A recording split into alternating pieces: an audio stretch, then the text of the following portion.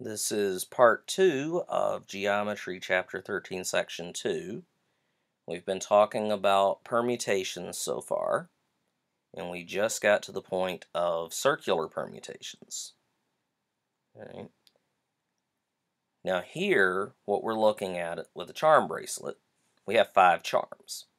I want to know how many different ways I can put these charms on here. They don't tell me anything about having a clasp or a fixed point, so I'm going to treat it like a circle.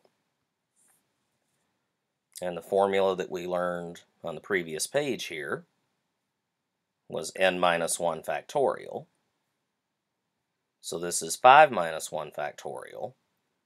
5 minus 1 is, of course, 4, and 4 factorial is 24 different arrangements for 5 charms on a charm bracelet.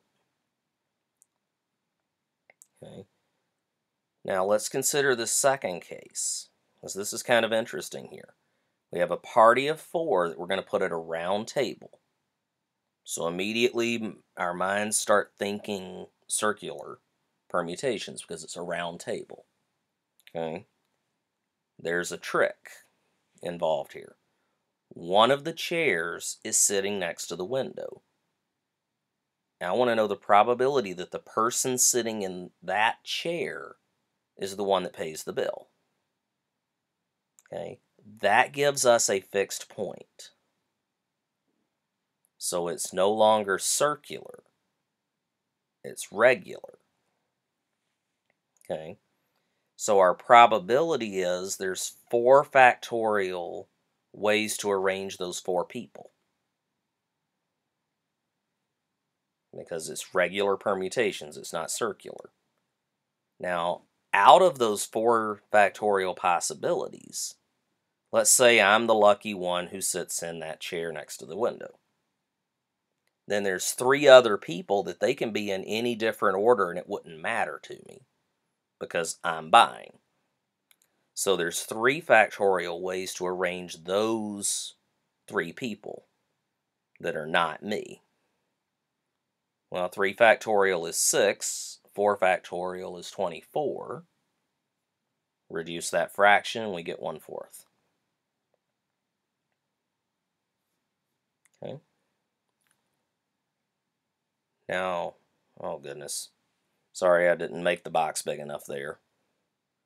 Um, a combination is an arrangement where the order doesn't matter. Okay. Permutations, the order matters. Combinations, the order doesn't matter which which way you name them. Okay. Um, think basketball here. When I introduce the starting lineups, I go in numerical order. There's no rule that says I have to. I could go alphabetically. Okay, I could go by height. I could go by who I like the best. It doesn't matter. The regardless of the order that I name those names, those same five people are the starting lineup. Okay, that would be a combination.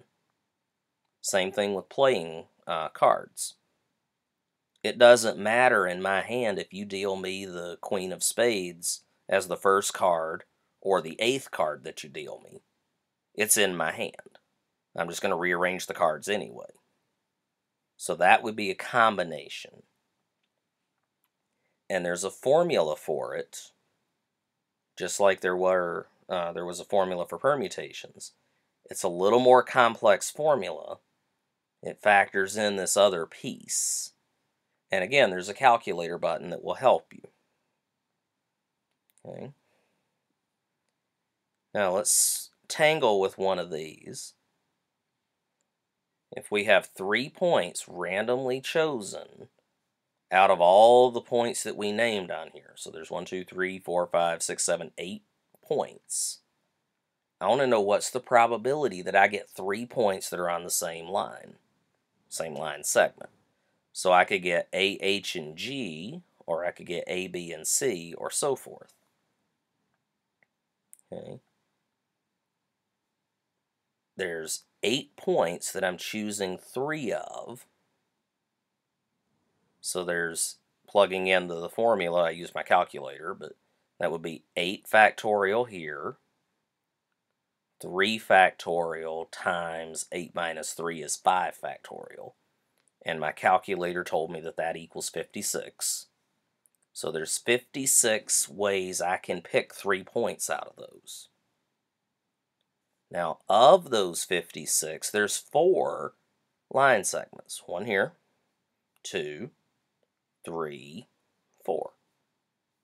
So there's four chances out of 56, which reduces to one out of 14. Okay. How do I know which one to use, permutations or combinations? The key thing is, does the order matter? If the order is important, if changing the order changes what you have, then it's a permutation. If the order doesn't matter, changing the order doesn't really change anything, then it's a combination. Okay? That's the trickiest part of the whole thing is deciding which one it is. And it all hinges on the same question. Does the order matter? If you had questions along the way during either part of this two-part video, I uh, hope you wrote those down, bring them in with you, and we'll see you in class.